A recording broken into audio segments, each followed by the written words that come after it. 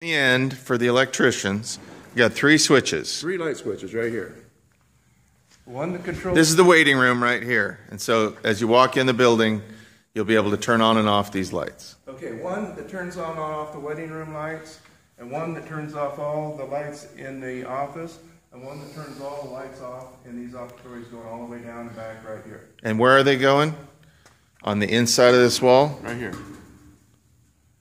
On the hallway side of this front? So when you come in the Wall. front door, you walk over here, boom, boom, boom.